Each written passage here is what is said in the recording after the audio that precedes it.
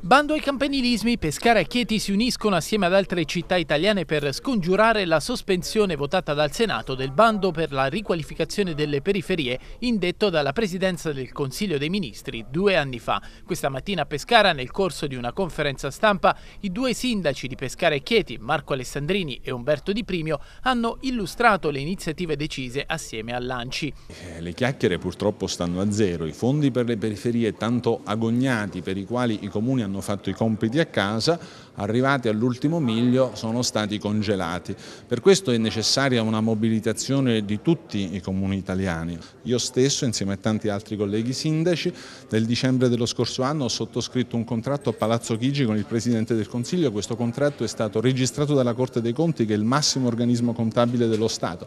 Ecco, si parla tanto di recuperare quella trama di fiducia che sembra interrotta con i cittadini. Beh, se lo Stato è il primo che insomma, torna indietro sui suoi passi, evidentemente c'è qualche problema. Domani una delegazione dell'Anci sarà a Roma per essere ascoltata in Commissione Bilancio alla Camera, perché, dicono i sindaci, c'è la necessità di far tornare indietro il governo su un provvedimento sbagliato e su un emendamento che è un vero e proprio scippo ai fondi necessari alle grandi città soprattutto per combattere degrado e insicurezza dei cittadini. Lavori che servono per rendere le città migliori, per migliorare la qualità della vita dei cittadini, per migliorare le infrastrutture eh, delle nostre città. Quindi è una battaglia che stiamo facendo a livello nazionale, io domani sarò in audizione alla Camera insieme ad altri sindaci per eh, dire quello che perde l'Italia ove questo provvedimento dovesse essere confermato in sede di Camera dei Deputati.